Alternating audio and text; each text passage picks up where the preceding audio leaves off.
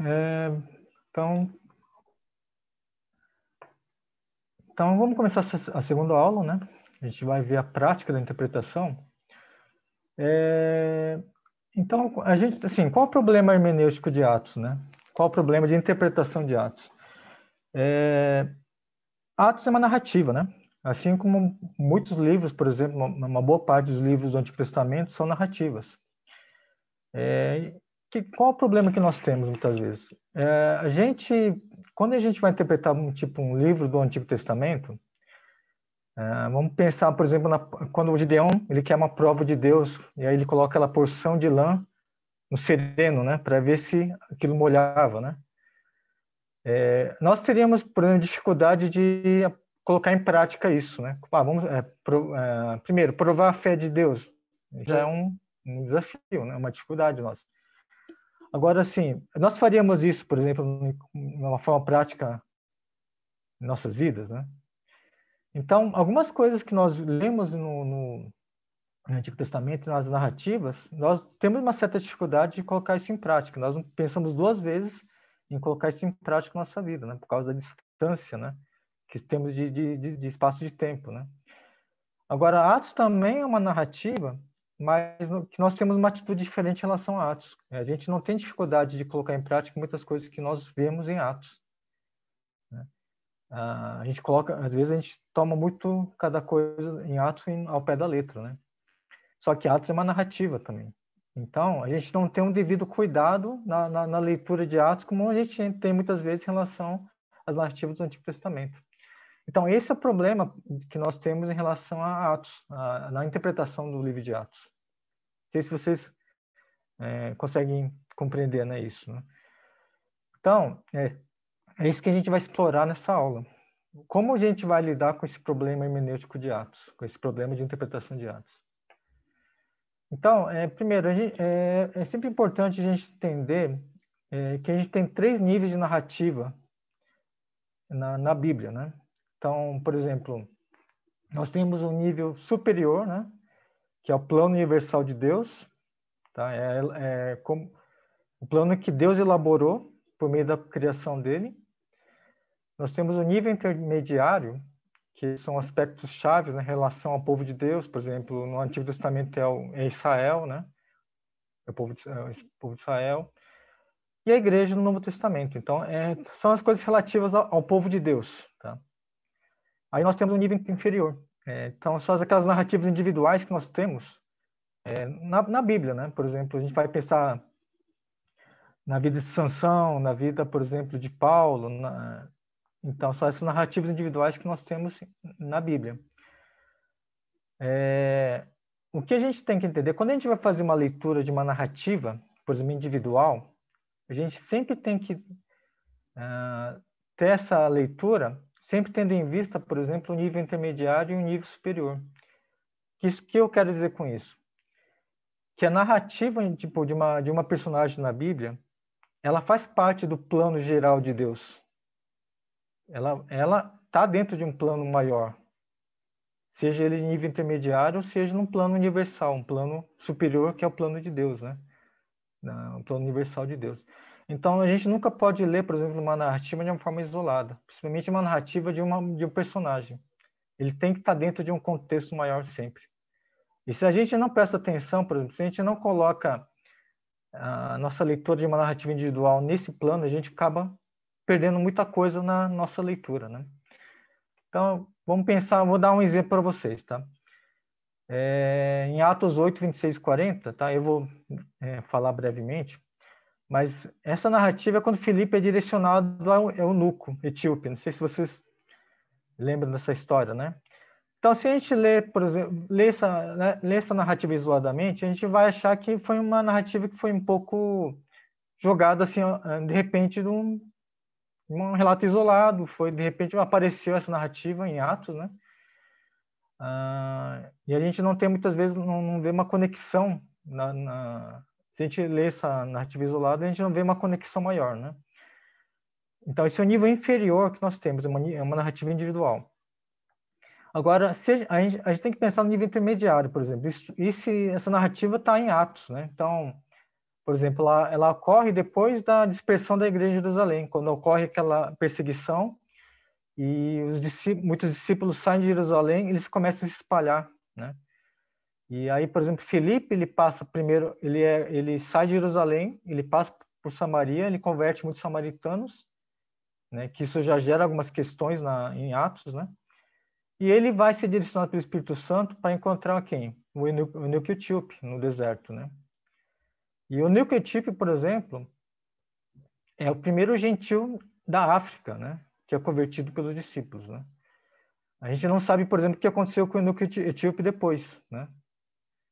Provavelmente ele começou, por exemplo, a evangelização na, na Etiópia na, ou naquela parte norte da África. Né? A gente não tem essa informação, mas provavelmente sim. E só que você vai ver depois em Atos 10 que, que por exemplo, o evangelho já começa a ser direcionado para os gentios, né? para os cristãos que não são judeus, né? Olha, aliás, para um povo que é gentil. Então, então esse é o nível intermediário que nós estamos vendo nessa narrativa. Agora, o nível superior, o que, que a gente trata, por exemplo? Em Isaías 53, a gente vai ver que Isaías 56, é, ele começa, por exemplo, nessa própria, em Atos 8, 26, já há uma referência a Isaías 53, né? que ele fala sobre o servo sofredor, né? em relação a Jesus. E em Isaías 56, a gente vai ver o que? A salvação que é que já é profetizada para os gentios. Você vai ver isso no versículos 4 a 8. Então você já começa a ver que há um plano de salvação universal já no Antigo Testamento. Então isso já estava sendo é, predito já em, em, Isaías. Então você já vê que, por exemplo, esse essa narrativa de, do, do New já está dentro de um plano maior que a, que é a salvação de toda a humanidade, né? É o plano de salvação da humanidade. Então, a gente sempre tem que ver, por exemplo, como essas narrativas estão, estão sendo encaixadas dentro desse plano universal. Né? Então, é, então fiz esse esquema. Então, você vai ver o nível inferior, certo? O nível intermediário e o nível superior. Então, como eu, como eu disse, então a gente precisa sempre então é, compreender como essa narrativa é, individual inferior ela se encaixa nesse plano global, né? Então, você interpretar individualmente, é, uma, interpretar isoladamente uma narrativa individual não é a melhor forma de interpretação. Ah, então, por exemplo, vamos pensar o que, que as narrativas na Bíblia elas não são as narrativas não são, por exemplo, meros relatos de personagens que viviam nos tempos antigos, né? Então, elas são histórias daquilo que Deus fez na vida delas e o que Deus faz por meio delas. Então, elas não são, por exemplo, apenas relatos. A gente tem que entender, por exemplo, qual foi o plano de Deus em relação à, à vida dessa pessoa, desse personagem na Bíblia. Então, as narrativas também elas não são, por exemplo, não tem um fundo alegórico, não tem significados ocultos, né? Então, elas não respondem todas as perguntas, né? elas não têm essa função também de responder to essas, todas essas perguntas. Elas foram escritas para a gente ter uma noção do, do, da ação de Deus né? num, plano, num plano mais amplo, no plano global. Né? E elas nem sempre vão nos ensinar de uma forma direta. Elas, às vezes, o que, que as narrativas vão fazer? Elas vão ilustrar algo que é ensinado, por exemplo, de uma forma muito direta e outras partes da Bíblia, né? Então elas vão dar, por exemplo, uma ilustração, claro, de algo que foi ensinado, por exemplo, em uma carta ou um, um, alguma parte que seja mais de ensino, né? Então essa é a função muitas vezes das narrativas. Elas vão fazer um dar um dar um panorama disso, desse ensinamento. Então, bom, eu já falei sobre que ela não pode ser analisada microscopicamente, né? A gente não pode pegar cada parte da da narrativa, tentar tirar uma lição, um preceito moral. Então, sempre com uma, uma visão mais ampla, mais geral. Né?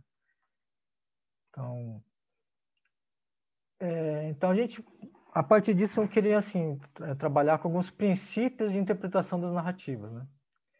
Então, em geral, uma narrativa, ela não ensina diretamente uma doutrina.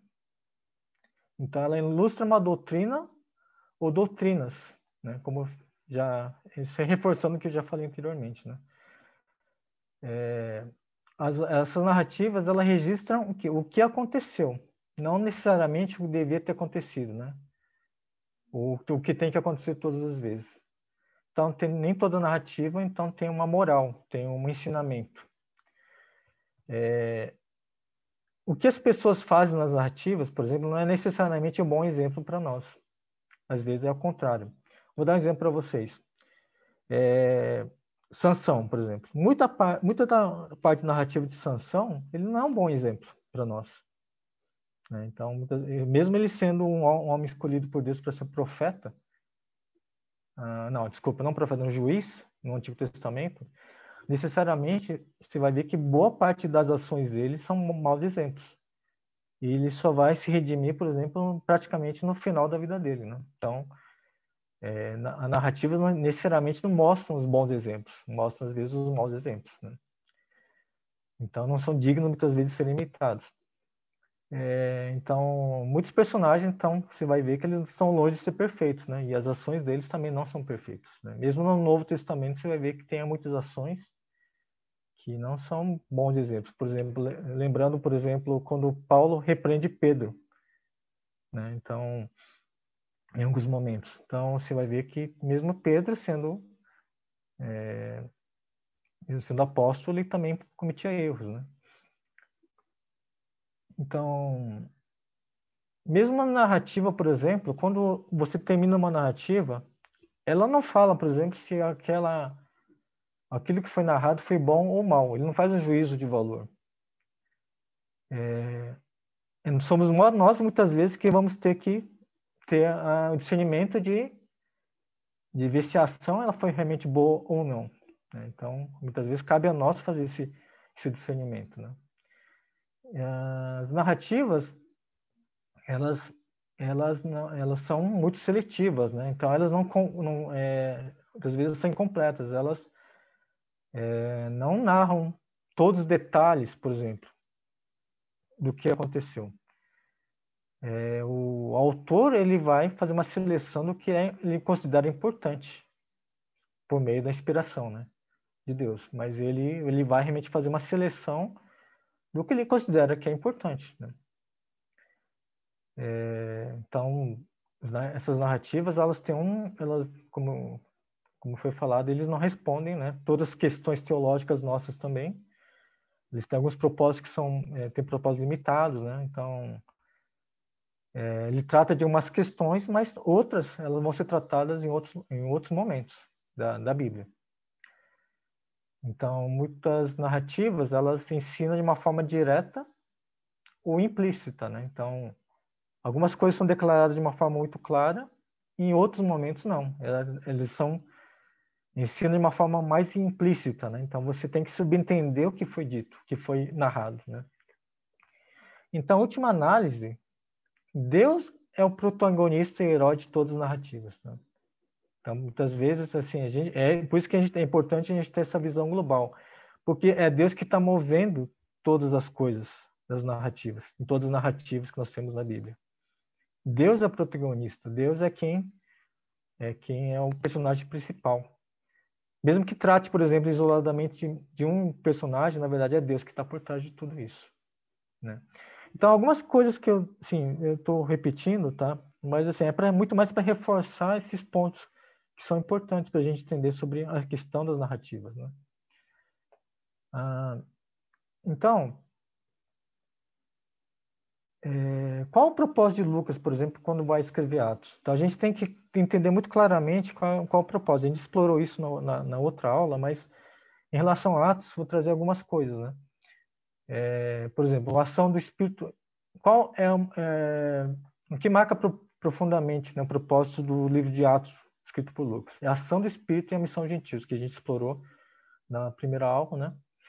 Uma coisa que é interessante a gente entender é que Lucas, por exemplo, ele não tem uma preocupação especial na organização e na política da igreja, quer dizer, na forma de condução da igreja. Não é um ponto principal é, em Atos, né? Isso não é, não é tipo Lucas ele não tem isso em mente, né? A, questão da organização, como a igreja organizada, como tem que ser, como a igreja ela tem que ser liderada. Não é essa a preocupação. É, também, como a gente viu também na, na, primeira aula, não foi também a intenção de, de Lucas, ao escrever Atos, fazer uma história completa da igreja. Também não é, não foi essa a intenção. E também não foi interesse de Lucas, por exemplo, padronizar todas as coisas, né? É, construir padrões é, de ou de ações, ou de práticas, ou de comportamento no livro de Atos. Não é também esse essa a intenção de Lucas. E outro ponto também é que, por exemplo, é que nem a gente vê, por exemplo, aquela transição da igreja que é de uma igreja mais judaica para uma igreja mais gentia, nesse, falando nesse sentido. Necessariamente, por exemplo, as igrejas gentias elas não, tem, não, não, não, não teriam que viver exatamente como a igreja de Jerusalém, que era mais judia, é, judaica, né? Então, o é, que, que, que eu quero dizer com isso? Que há uma diversidade de, de modelos de igrejas, né? de igrejas, por exemplo, em Atos. Isso mostra que, por exemplo, também que, há, que Lucas não, ele não queria estabelecer um modelo único para a vida cristã ou para a vida na igreja em si. Tá? Então, a gente tem que ter sempre isso em mente quando a gente vai ver o livro de Atos. Né? Por quê? Porque Atos, muitas vezes, ele tem servido para justamente para patronizar ou servir de modelo para prática na igreja, ou até modelos de organização na igreja, para a igreja, né? tipo, para nós, né? Então, mas a gente tem que sempre lembrar que não foi essa a intenção de Lucas, né? Então, bom, aqui aqui é uma coisa interessante, importante a gente falar, por exemplo, que é a questão do precedente histórico, tá? Então aí a gente vai entrar em alguns termos uh, mais teológicos. Aqui eu, eu, acho que assim, aqui a partir daqui a coisa vai ficar um pouco mais complexa. Então eu vou depois tentar no fim dar uma uma visão mais tentar simplificar um pouco, tá? Também por meio de um exemplo. É, mas qual a questão do precedente histórico aqui? Qual que é essa questão? A questão do precedente histórico, ele é o quanto o que encontramos nos termos narrativos da Bíblia eles podem ser imitados pelos leitores da atualidade. Então, por exemplo, é, o que você lê, em, por exemplo, uma narrativa, ou especialmente em Atos, ele pode ser imitado por nós hoje? Então, a precedente histórico, quando a gente usa esse termo precedente histórico, precedente histórico é justamente isso. Ah, isso é um modelo para nós. É o que foi, por exemplo, registrado historicamente, digamos assim, no, em Atos, ele serve para nós hoje. Isso que trata a questão do precedente histórico. É, por exemplo, o que uma, uma igreja, a igreja primitiva, ela é, é descrita uma, uma igreja na igreja primitiva, ela serve como uma norma para nós atualmente. E como, por exemplo, é, se isso é uma, se, se, se realmente é algo que a gente precisa imitar, como é que a gente pode descobrir isso? Como é que a gente vai estabelecer princípios para, de fato, praticar isso. Né? Então, isso que a gente precisa, vai precisar entender. Então, qual o papel justamente disso, do precedente histórico, né? Em relação à doutrina ou relação à experiência cristã. Então, isso que nós vou, vou tentar explorar agora, na, agora nas nos próximos minutos. Tá? Então, é, qual é a grande questão que nós temos em relação a isso? A nossa falta de coerência. Em que sentido? É, muitas vezes, por exemplo, principalmente em Atos, a gente tende, tende a seguir algumas narrativas como, como sendo padrões para nós, mas em alguns, alguns outros pontos da narrativa a gente negligencia, negligencia, a gente não fala, não, isso aqui não serve. É, isso, é, isso a parte da narrativa que nós vemos em Atos serve, mas isso aqui não. Então a gente é muito seletivo nisso. A gente, às vezes, é, é a gente acaba tendo dois pesos, duas medidas. Né?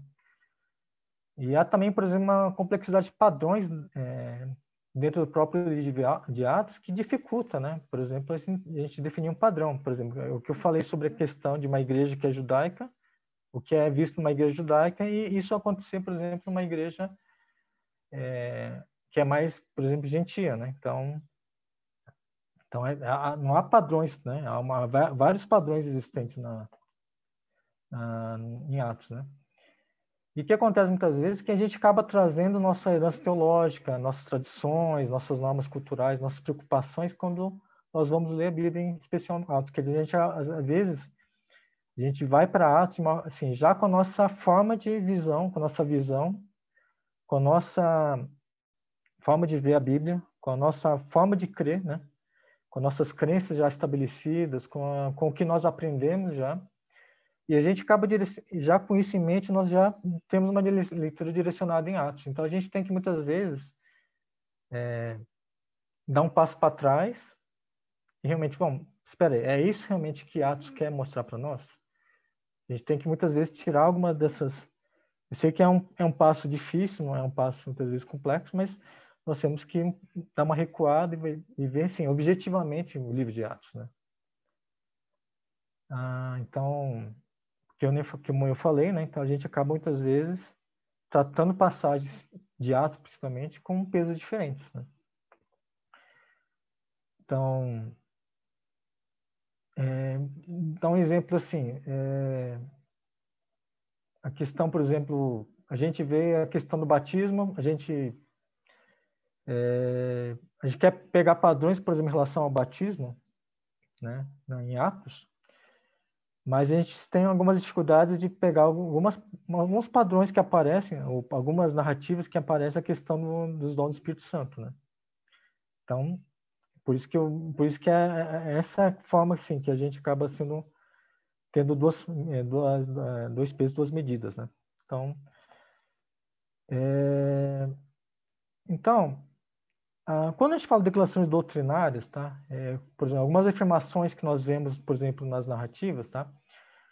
A gente tem que dividir em três categorias, tá? Isso não só em Atos, tá? Mas eu falo assim da, de toda a Bíblia, né? Então, tem três categorias que a gente tem que ter essa divisão. Primeira categoria, por exemplo, é a teologia cristã, aquilo que os cristãos acreditam. A, a segunda categoria, por exemplo, é a ética cristã, como cristãos devem se comportar. A terceira categoria, por exemplo, é a questão, a prática, né? aquilo que, que os cristãos fazem. Então, tudo que a gente vê, por exemplo, de declaração na palavra, na, na Bíblia, então a gente divide, por exemplo, nessas três, nessas três categorias: a teologia, a ética e a experiência. Tá? Ah, agora, mesmo dessa, dentro dessas categorias, a gente tem que também fazer duas separações, tá? O, são, tipo, declarações de nível primário e o secundário, tá? Nível primário. Por exemplo, são declarações que vão vir de, afirmações explícitas aos imperativos da escritura. Por exemplo, é o que a escritura pretende ensinar. Então, por exemplo, essa, essas declarações de nível primário, elas são muito claras, né? Por exemplo, ah, Deus é amor, Jesus é divino, a Bíblia é inspirada por Deus, né? Então são declarações que são muito claras, né? Então amem uns aos outros, então são declarações primárias, de nível primário. É, de nível secundário, então elas são implícitas, não são tipo explícitas, não, não são declaradas diretamente, mas você, por associação, você entende essas declarações, né? Por exemplo, é, digamos, a Bíblia inspirada por Deus, tá ok, mas de que forma, de que forma a Bíblia é inspirada? Então, isso é, já é uma forma implícita, né? Eu vou dar um exemplo para vocês para ficar um pouco mais claro. É justamente sobre isso que eu, é, sobre o que eu falei. Por exemplo, é, na, na, categoria de teologia cristã, por exemplo, é, categoria da teologia cristã, aqueles que, que os cristãos acreditam. Então, nível primário dessa categoria de teologia cristã, a palavra é inspirada por Deus. Então, isso é, isso é primário, isso é declarado explicitamente. O secundário é justamente isso. Como é, essa inspiração é realizada, né? Então, isso é, já, já é secundário, não sentido assim, tipo, que não seja importante, mas isso é implícito, né? Tipo, é, como vem a inspiração? Como, como por exemplo, veio a inspiração de Lucas para escrever Atos? Então, isso aí é já é mais secundário, tá? Ele não está não tá diretamente implícito, está é, tá implícito, né? Então, qual o ponto assim que a gente tem que entender em Atos é que os precedentes históricos, por exemplo, que a gente viu, por exemplo, o que, que é realmente o que deve ser trazido para nossa prática, né, em, em, Atos, por exemplo, ela ela está na, na, terceira categoria, que é a, a, experiência ou a prática cristã, o que os cristãos fazem, e, e sempre em nível secundário, por exemplo. Então, ele está implícito, né?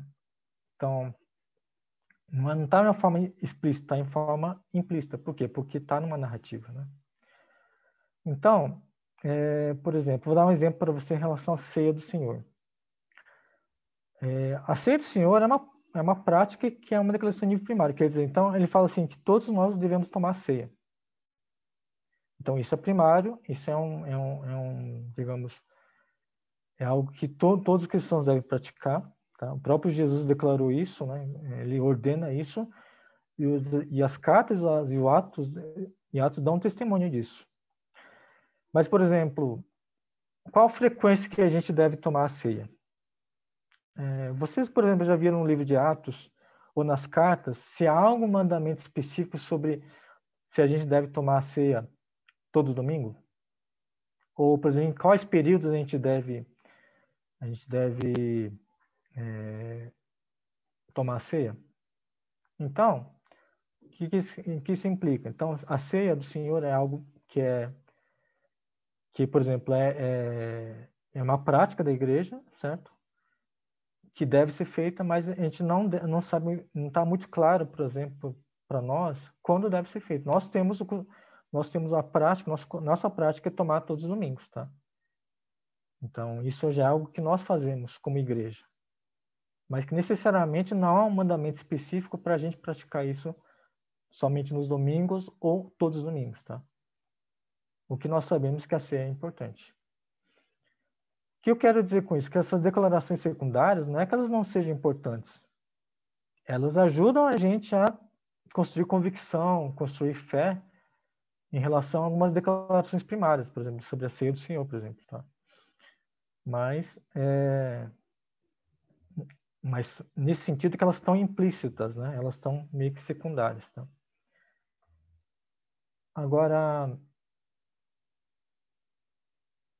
Então, agora, como é que a gente isso passa para a história da Bíblia, para as narrativas bíblicas, né? É... Pois é, a gente é, ensina alguma coisa porque ela está registrada na Bíblia, mesmo que isso seja registrado de uma forma favorável. Então, agora a gente, o que a gente precisa entender é, é assim, voltar um pouco, por exemplo, para a primeira aula, entender qual é a intenção geral inspirada de Lucas quando ele escreve Atos, tá? Então vamos retomar um pouco. Qual foi, qual era a intenção geral de Lucas em Atos? Lembrar que a igreja ela partiu de um grupo pequeno de, de judeus, tá, em Jerusalém. Ela se expande para o mundo gentil por meio do poder do Espírito Santo, por meio da pregação do Evangelho, por meio da graça de Deus, né?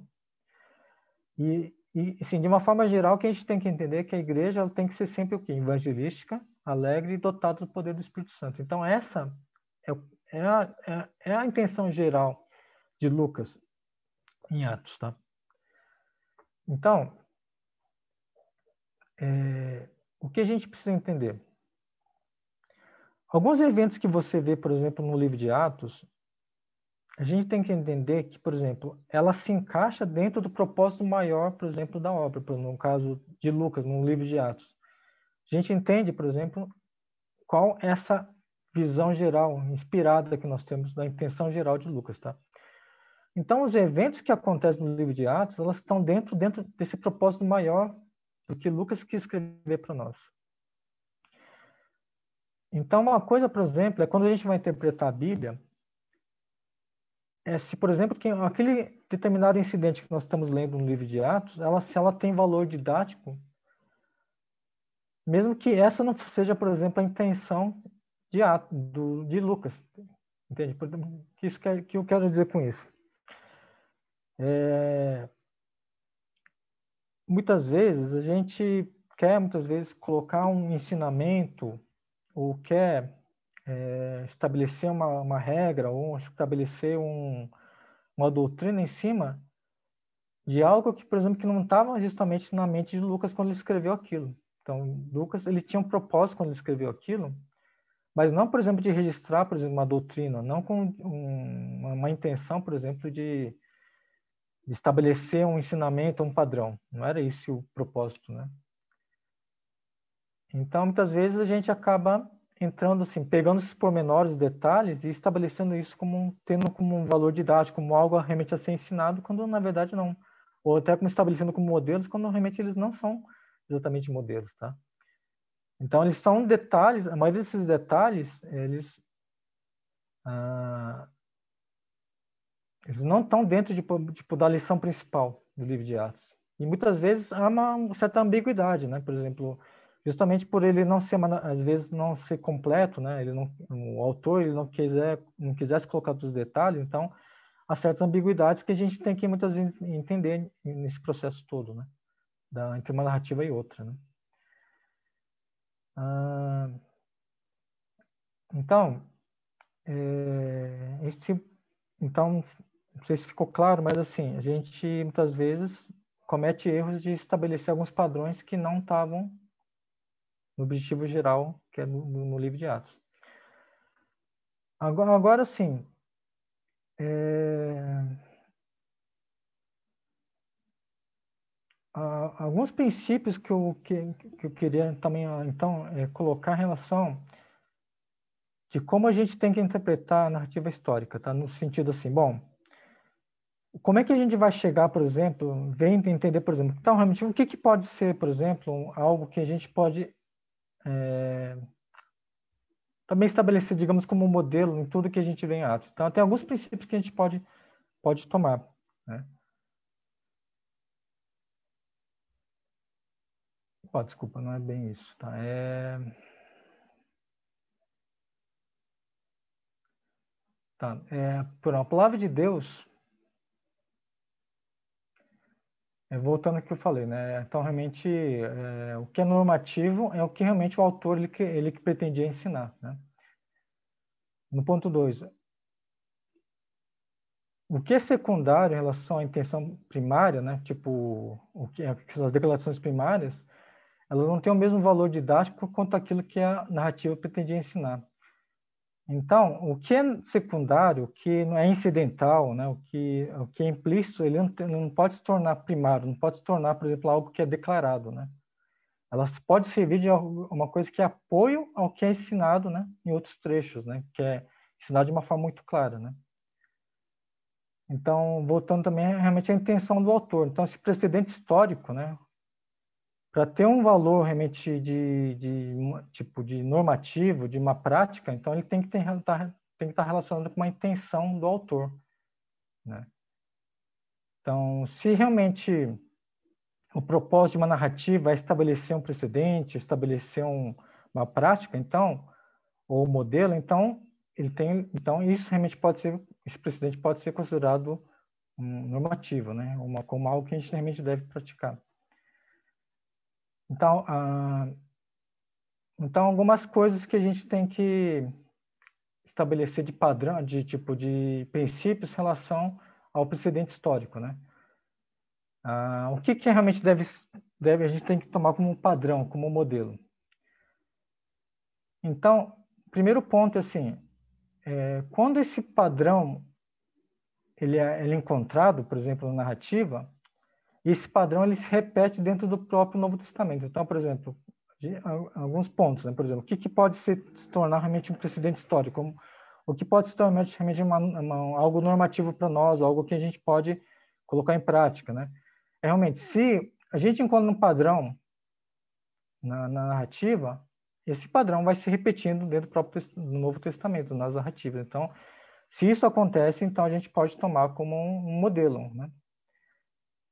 É, por exemplo, se há, por exemplo, alguns padrões, né, que a gente encontra que são ambíguos ou acontecem uma vez só, então a gente só vai tomar como precedente ou como modelo, como prática, se, por exemplo, se isso encontrar uma aprovação divina, né, ou estiver em harmonia com o que é ensinado em outras partes da escritura, né? Então, por exemplo, a gente a gente vê isso numa narrativa que uh, que você vê, por exemplo, que há um, algo que realmente pode se tornar um, um, ensinamento, um, um modelo, mas que isso tem realmente uma é, que isso você vai encontrar em outras partes da escritura como sendo corroborado. Então, isso também pode se tornar um, então, um modelo, né?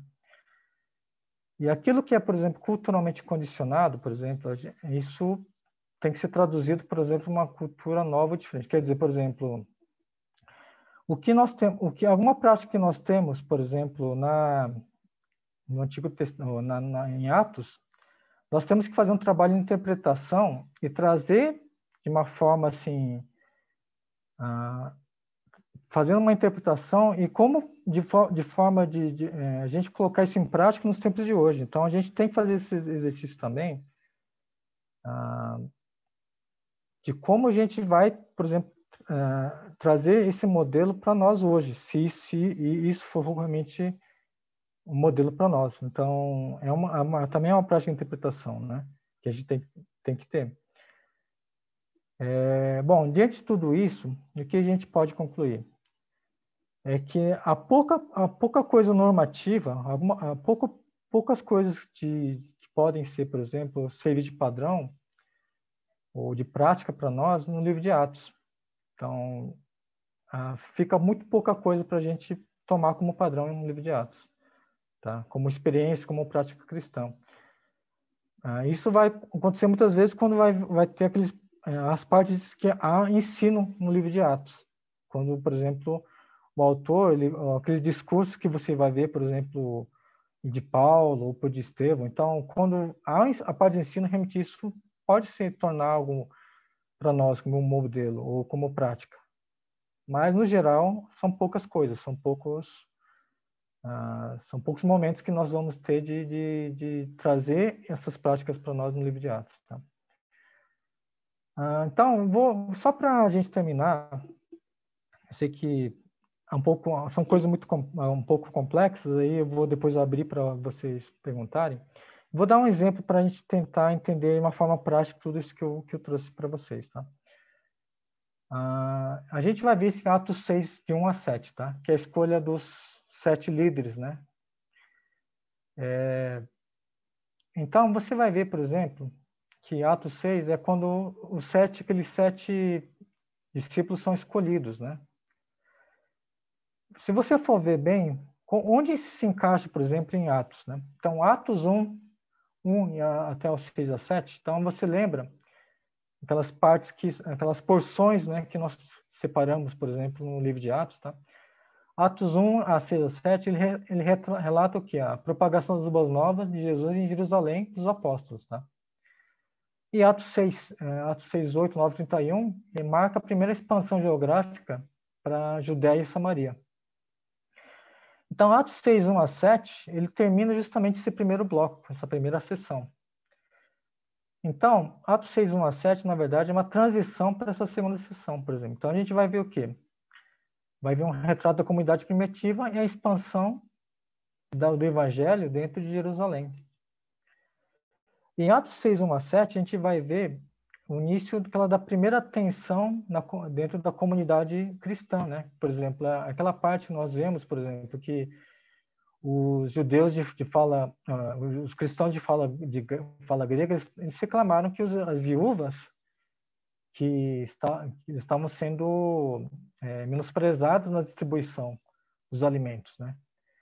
Então, o que a gente entende aqui é o seguinte, que mesmo dentro da comunidade é, cristã em Jerusalém, você vai ver que tem uma parte que é a parte dos cristãos, que há uma parte que são dos cristãos judeus e a parte, por exemplo, dos que são cristãos de idioma grego. O que acontece, por exemplo, em Atos, justamente em Atos 2, é que todos aqueles, aqueles judeus que eles vêm para Jerusalém, eles ouvem, por exemplo, a pregação de Pedro, eles se convertem.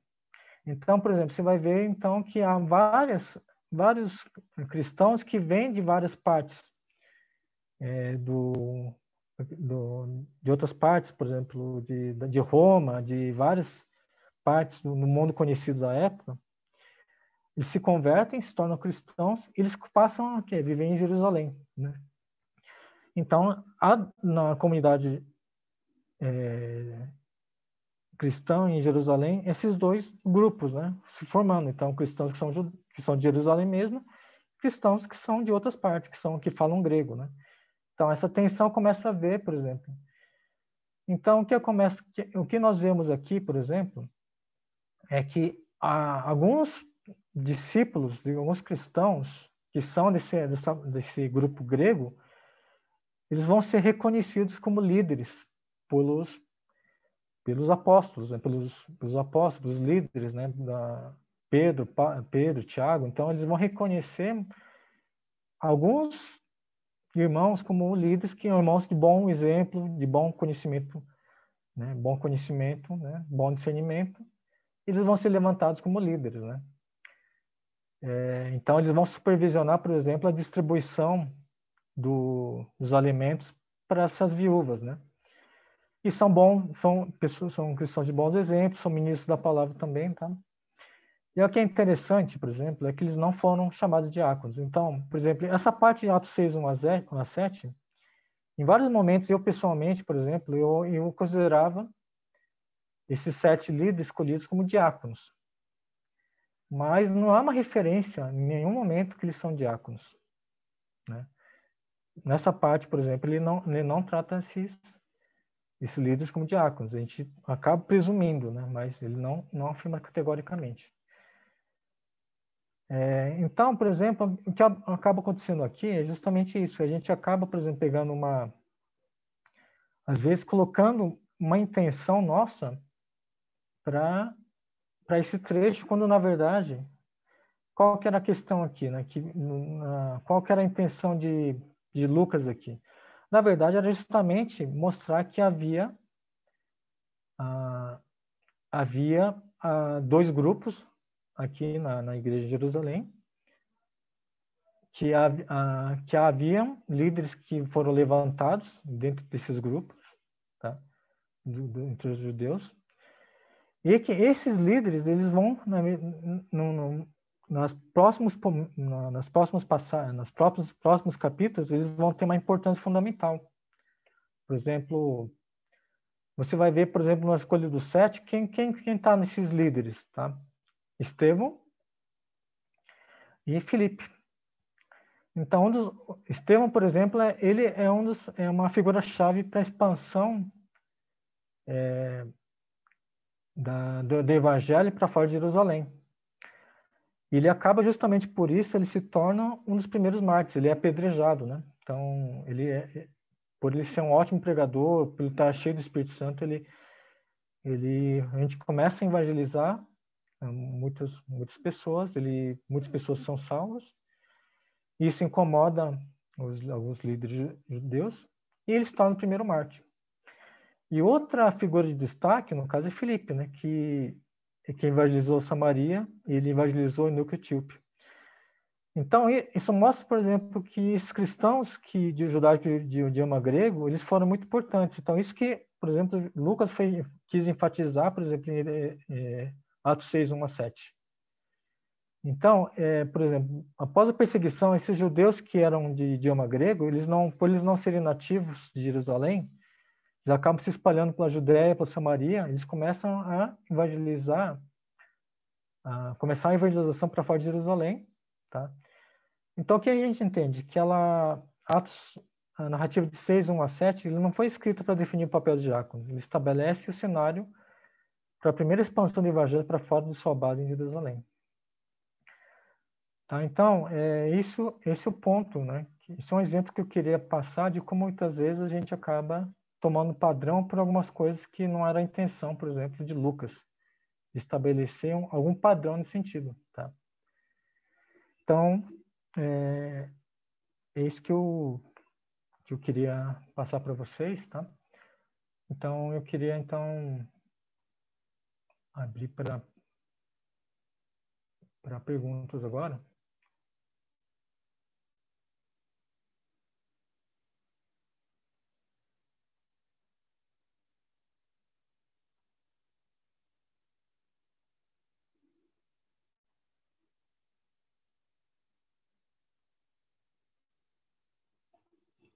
Ah,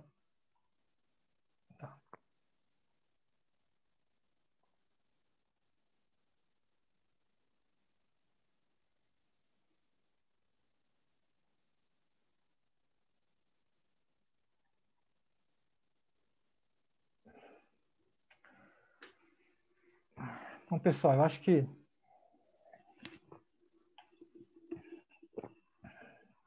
é, fica um pouco é um pouco mais complexo, né? Que Atos realmente traz alguns elementos mais difíceis de interpretação. Eu queria abrir para perguntas agora, tá? É, acho que ficaram muitas dúvidas, né? Então eu queria, não sei se no geral deu para vocês entenderem, se deu, teve uma, deu para pegar um, a ideia, tá? Mas aí eu queria levantar para perguntas aí.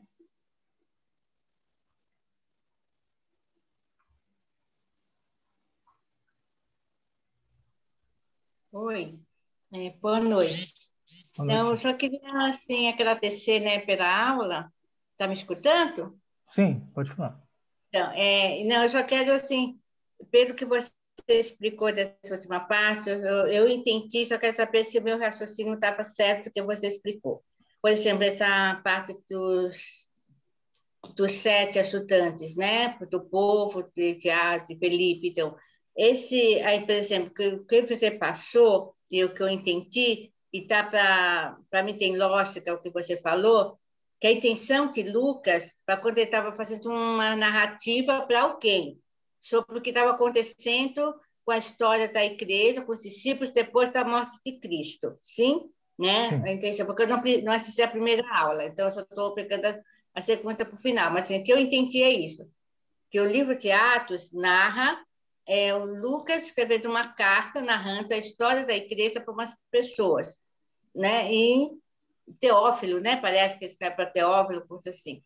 Mas só que a intenção dele não era estabelecer uma doutrina, e sim contar fatos relevantes que aconteceram com os cristãos e com a igreja no decorrer desses primeiros anos depois da morte de Cristo. É isso? Isso, exatamente. Uhum. E exatamente. a gente só poderia pegar como doutrina alguma coisa que em Atos tenha que a gente repete em outras em outros livros que tem a mesma narrativa ou a mesmo exemplo ou a mesma coisa que quer dizer a confirmação de Deus que aquilo é uma prática geral. Exato. Eu vou dizer é... ceia, né? Porque a gente toma ceia toda semana. E eu tenho convivido nessa pandemia muito com a, com a minha cunhada, que é patista. E eles só, só tomam ceia uma vez por mês. Eles fazem um culto especial para tomar ceia. E eu conheço minha uma prima, que também tem outra religião, ela toma uma vez por mês também. Esse é um culto especial para ceia. Dizer, não está errado, nem eles, nem nós. É uma questão de interpretação, que a ceia é pípica. Ponto final. Cristo fala, né? façam isso em memória de mim. Agora, a, a, se você quer fazer todo dia, ou uma vez por mês, ou como a gente faz toda semana, acho que isso não é o problema, é isso? É só o fato em termos de fazer, porque Deus nos ensinou a fazê-la. É isso? Exato, exatamente isso. Por exemplo, quando a gente vai estabelecer alguns modelos para nós, tipo então, pegando o livro de Atos, a gente tem alguns critérios, a gente tem que usar alguns critérios para estabelecer isso como realmente como uma prática para nós. Então, então a gente precisa ter isso em mente. A gente não pode, por exemplo, do nada pegar alguma coisa que está narrada no livro de Atos e falar, oh, isso aqui é uma prática para a igreja, ponto. Isso foi que Cristo ensinou, que Paulo ensinou, que não. A gente tem que ter alguns critérios uhum. de interpretação. A gente tem que realmente estabelecer alguns parâmetros para a gente realmente, ó, oh, isso aqui realmente é, é algo que nós devemos praticar realmente na, na, na igreja. Então, por exemplo, alguns pontos, assim, é, é, a ceia é um exemplo claro, tá? Realmente, nós devemos tomar ceia, isso é ponto pacífico. A prática disso, ela não pode ser, tipo, a gente não pode ser tão categórico assim, né? Isso, é, o exemplo da ceia é um, é um exemplo. Há outras coisas, por exemplo, que muitas igrejas, ou até mesmo nós, nós estabelecemos, ou que estabelecíamos, né? Que, necessariamente, elas não não estão condizentes com a intenção de, de, de Lucas, tá que Lucas, que nem você falou, o que a gente viu, é que Lucas somente ele tinha uma intenção, hein? quando escreveu Atos ele tinha uma intenção.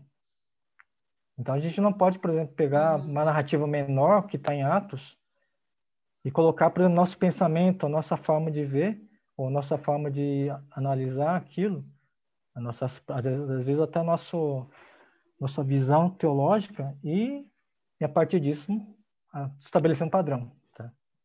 Então, é esse é o ponto, né? E nós fazíamos, muitas vezes nós fazíamos isso, né? Então, a gente tem que tomar muito cuidado, né?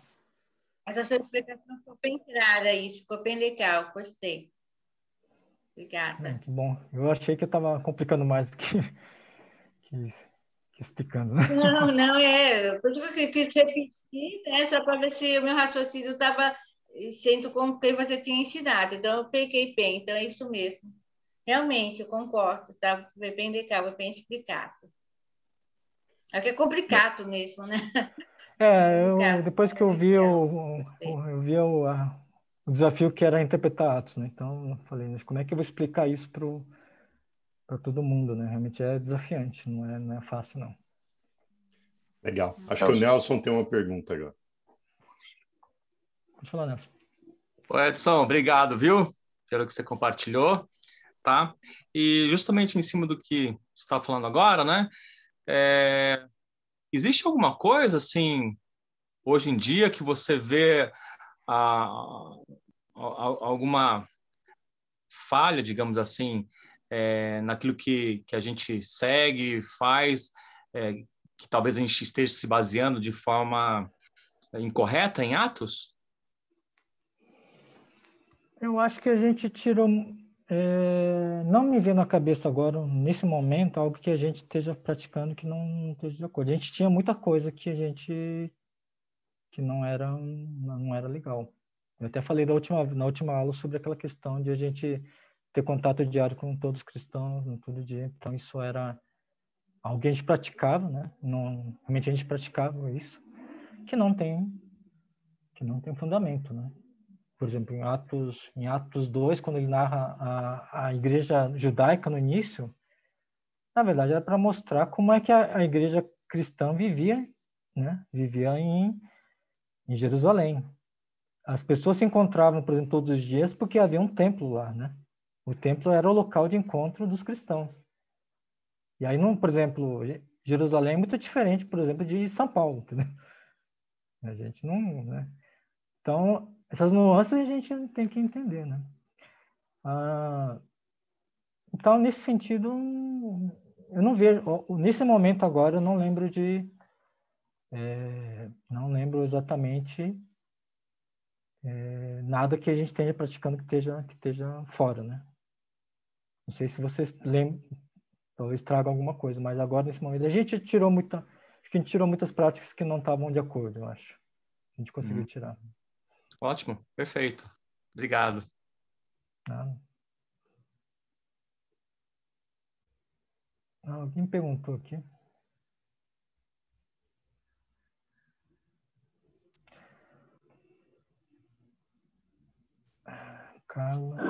Você conseguiu ler a pergunta, Edson? E o capítulo 2 me entendeu, ele me deu a entender que eles se amam todos os dias.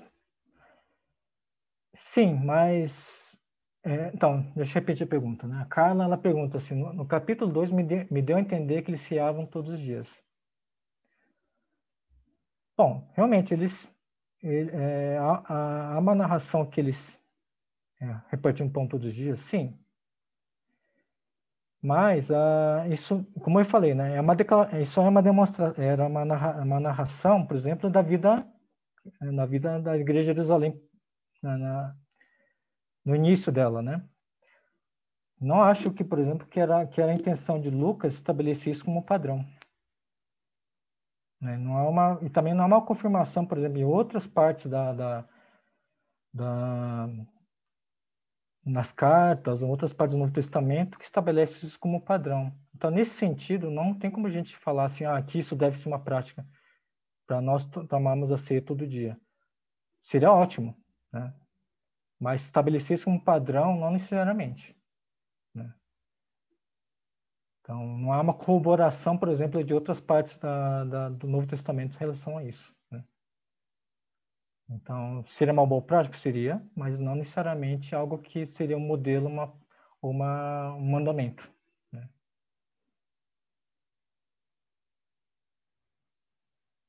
É, Atos. Aí Nildo pergunta: confessar os pecados para ser batizado seria uma prática baseada em Atos 17? Seria com uma base errada? Ah, a, a, por exemplo, é, a, a, confissão de pecados, há outras partes na, na, na em, nas cartas, e por exemplo, até por exemplo, uma prática que não de confissão de pecados em outras, no mesmo evangelhos, que eles que eles falam a parte da confissão, né? Então, nesse sentido da confissão dos pecados, é, eu acho que há uma, uma corroboração, né? Confessem os pecados uns aos outros, então havia essa havia essa prática, né, que havia sendo feita. É, na minha opinião, há uma corroboração de, de, disso, desse ensinamento em outras partes da, da, da, da Bíblia, no Novo Testamento. Mas é algo que eu acho que eu, eu, vou precisar estudar um pouco melhor, viu? Eu não gostaria de afirmar categoricamente isso em, em algum momento, nesse momento agora, tá? Eu posso uh, estudar um pouco melhor sobre isso, eu posso trazer essa resposta para você depois, pode ser? Tem a próxima pergunta, Edson. Você consegue ler logo em seguida? Qual a principal lição de Atos a ser aplicada como norma pelos cristãos hoje? Então, não existe uma norma específica de Atos em toda em todo Atos, né? Eu acho que uma coisa que é geral é que justamente que a gente tem que ser uma igreja que evangeliza, uma igreja que é muito muito dependente do Espírito Santo, né? E a gente tem que viver uma, uma vida cristã, né? Muito plena, né? Então, acho que isso que é sempre ter em mente a expansão do evangelho, sempre realmente ter uma vida como ah, uma vida de, de, de, de, relacionamentos profundos uns com os outros, né? Então acho que isso é a lição principal de Atos, mas não uma norma, né? Não ah, não exatamente uma norma, assim, né? não é uma norma específica ou única que Atos queira ensinar, mas acho que a gente subentende isso, né? Que a intenção de Lucas no escrever Atos era isso, uma igreja evangelística dependente do Espírito Santo e uma igreja muito profunda, né, nos relacionamentos. O que eu penso, né? Edson, só aproveitar, na, na aula passada você deixou em aberto um pensamento, eu só queria saber se você iria comentar ou não. Ah, você falou algo sobre ah, os batismos, a questão do Espírito uh, em diversos pontos lá de, de Atos, né? Uh, uhum. Atos 2, depois Samaria, depois lá em Éfeso. Uh, só queria saber se você iria fazer algum comentário sobre isso, já que você nos instigou a pensar nisso. É, eu acabei não trazendo isso para a aula porque eu evitei entrar em alguns temas polêmicos, né? Porque isso ia gerar muita polêmica, né? Então, de certa forma, por causa do tempo, eu evitei entrar nesse assunto. É... O que, que, eu posso dizer assim? Isso eu falo em termos de, de atitude nossa em relação ao livro de Atos, tá? Por exemplo, há uma questão, por exemplo, da batismo de imersão, que a gente muitas vezes usa a questão do, do eunuco etíope, né? Então, que eles entraram na água e aí ele e aí, então, por meio, muitas vezes a gente defende que o batismo de imersão, tem, é, se, a gente se baseia, por exemplo, nessa parte do Enecotilve para falar que o batismo é de imersão, né? Ah, essa prática, por exemplo, ela está corroborada, por exemplo, no próprio, na própria palavra batismo, que é imersão, né? Em, em, em, outras partes, por exemplo, do, no, nas cartas, que, que realmente você vê que Paulo ensina que o batismo justamente é, é você ser é, enterrado né, com Cristo e surgir para uma vida nova. Então, nesse sentido, a gente entende claramente que é um batismo por imersão. Mas o que acontece? Muitas vezes a gente se baseia nesse, nesse trecho em Atos para afirmar categoricamente isso. Né? Então, nesse sentido, não, outras partes na, na passagem da, ah, em outras partes da, da, do Novo Testamento há uma corroboração. Agora, por exemplo, a gente não trata isso da mesma forma em relação, por exemplo, é, em relação, por exemplo, aos dons espirituais. O, o que a gente vê, por exemplo, que acontece em Atos, em toda, em todas essas questões que envolvem a, a, o Espírito Santo, né? Batismo do Espírito Santo e tal. É, aí a gente, por exemplo, é, quer tirar isso do contexto, não? A gente não quer se aprofundar nesses termos, acha que, lógico, a gente tem uma interpretação, a gente tem que tem, a gente tem uma interpretação em relação a essas questões não espirituais, entendeu? Mas às vezes, muitas vezes, nossa atitude é, é, é de negar essas questões que aparecem no livro de Atos. Então a gente tem que tratar, ser muito honesto, é, ser muito honesto intelectualmente, no sentido de realmente a gente ter uma visão é, coerente, né? Quando a gente vai ler Atos, a gente tem que levar em conta todos os todos os aspectos tá? do livro de Atos, tá? A gente tem que realmente ter essa isenção nesse sentido de ler Atos, tá? Então nesse sentido que que eu queria estabelecer de início. Depois eu gostaria de entrar na questão do dom do Espírito Santo em, em aulas posteriores, né? Então, já tenho aulas específicas sobre isso, né? Que preciso, uh, uh, com base no que eu li em Atos, em, na, nas interpretações das cartas, eu preciso reformular essas aulas, né? Mas isso é uma questão que eu queria entrar em aulas posteriores, tá? Mas o que eu quero entrar, o que eu queria afirmar com isso, assim, que a gente tem que ter mais essa isenção, né, de é, na leitura de Atos. Legal. Se ficou claro, não sei se. Não, ficou. Sérgio, Obrigado. o Edson já pediu para fazer uma nova série lá para frente, hein? Você viu? Vai ah, deixando o gancho ali, né? Já tem Trindade, agora já tem o Espírito, tá amarrado. É. Minha boca, né? Acho que o Bruno vai falar algo, né, Bruno? É, o que estou pensando, é, Edson, obrigado, viu, por essa aula. Legal a gente entender um pouco melhor na prática, né, como essa abordagem interpretativa, finalmente, né? A gente tem o esboço do livro, tudo, mas agora como que eu entendo tudo isso? Na prática. Então, é, foi muito valorosa sua aula nesse sentido. Então, pelo que você está trazendo, estou pensando o que, que, o que, que, poderia ficar como referência para a gente. É, o que está na essência, então, do que você está dizendo é que, ainda que você não tenha falado com essas palavras, mas o que, o que eu entendi é que a Bíblia ela é um texto, certo? A Bíblia é um livro e ela traz gêneros literários diferentes. E para interpretá-la, para entender a mensagem de Deus, a gente precisa ter uma noção desses gêneros literários. Senão, a gente pode fazer uma interpretação equivocada. Então, por exemplo, Atos, ele traz uma narrativa, né? É, é, é predominantemente uma, uma narrativa histórica, que sem dúvidas vai ilustrar muito da vida, das práticas, das crenças, da, até das doutrinas seguidas pelos nossos irmãos é, do, né, naquela explosão do cristianismo no primeiro século. Mas a gente tem que tomar muito cuidado, porque você formar doutrinas com base num texto narrativo é perigoso, não é? A gente teria que talvez é, e outra coisa que eu peguei do, do que você está ensinando é, é harmonizar as escrituras. A gente precisa fazer um exercício maior de encontrar outras passagens né, que de fato ensinem, uh, instruem a prática uh, da, da, doutrina cristã. De fato, quando a gente pega as cartas pastorais de Paulo, ali de fato a gente tem verbos em que ele claramente instrui a comunidade, a igreja, a praticar isso.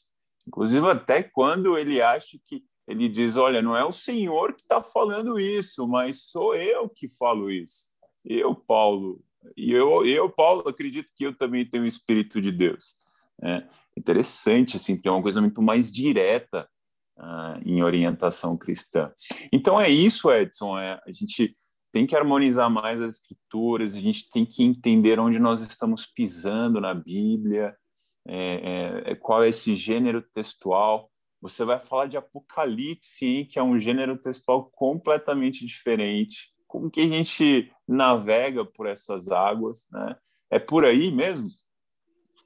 Exatamente. assim, eu acho que é uma chave, a chave que a gente tem de interpretação bíblica, eu acho que assim, eu, por exemplo, eu, eu lia muitas coisas sobre interpretação, sobre interpretar a Bíblia, e eu nunca chegava num ponto assim, poxa, é, aqui é a chave para a gente entender a Bíblia de uma forma mais clara, né?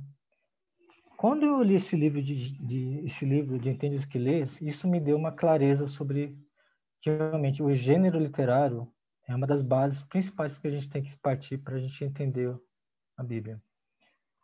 É, naquelas primeiras aulas, na primeira na, na, série anterior, eu lembro que a gente que, que a gente fazia, a gente às vezes pega um livro, o livro da Bíblia, com uma com uma fornada só, né? Por exemplo, tudo a gente lê a Bíblia como se fosse um todo, né? No sentido assim, tudo a gente lê, por exemplo, os Salmos como a gente lê, vê, lê por exemplo, Levítico.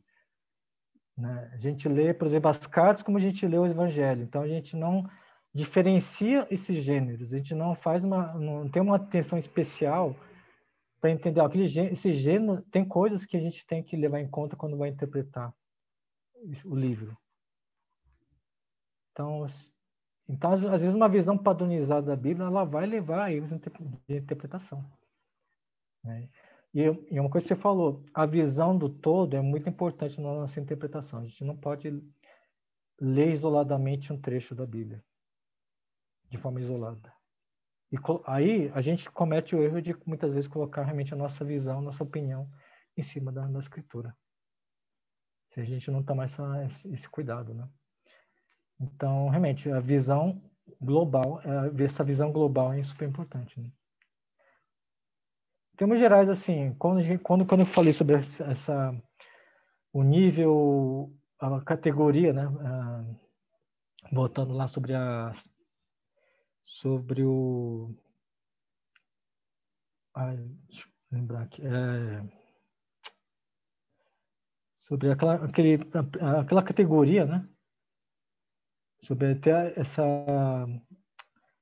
a visão geral do todo como um plano de Deus, né? Esse é uma das primeiras categorias que eu listei. Isso vale para toda a Bíblia, né? Quer dizer, a gente sempre tem que ler a Bíblia, os livros, os, os versículos, os trechos, sempre tendo, tendo uma visão geral do qual é realmente o plano de Deus, né?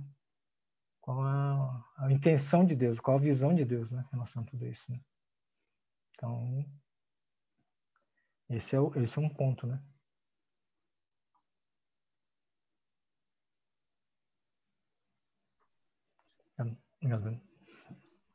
Legal, Edson. Eu acho que a gente está terminando as perguntas. Como a gente vai tratar na, na próxima semana de, de Apocalipse.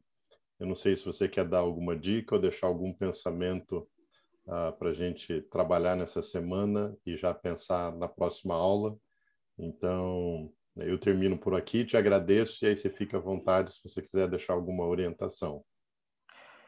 É, eu acho que é importante, assim, é, ler o livro, todo o livro de Apocalipse tá? da próxima é, na verdade, todo, é uma coisa que eu devia ter até orientado, assim, é... Você leiam os livros, né? Por exemplo, Atos você é um livro que você tem que, quando você for interpretar, você tem que ler todo o livro de Atos, né? Você tem que fazer esse exercício primeiro. Então, é, livro de... Do, uh, no próximo aula de Apocalipse, eu não vou, por exemplo, entrar entrar explicar todo o Apocalipse, tá? Não, se você vier com essa expectativa, infelizmente não não vou poder contemplar. O que eu vou fazer é ensinar algumas umas ferramentas para a gente interpretar Apocalipse, né? É, dar uma visão geral e as ferramentas para interpretar Apocalipse. Aí o resto é com vocês. Né? Vocês que vão utilizar essas ferramentas para ler Apocalipse. Então não esperem, por exemplo, uma coisa é, de detalhes, né? Então só alguma uma visão geral e todas as, as ferramentas possíveis para a gente interpretar Apocalipse, né? Legal. Mas sempre bom vocês terem uma leitura anterior, né? Para vocês terem uma, uma visão, né? Mesmo porque em duas aulas ia ser difícil explicar todo o Apocalipse, não, né, Edson? Não, nem vou, nem vou me comprometer, tá? Legal. Edson, queria muito te agradecer por, por mais essa aula. Uh, obrigado por estar nos ajudando com, com as ferramentas, a maneira de, de pensar. Também queria agradecer todo mundo que participou e convidá-los para estar novamente conosco na próxima quarta, tá bom? Ótima noite, pessoal. Obrigado a todos. Obrigado, obrigado, Edson. Obrigado.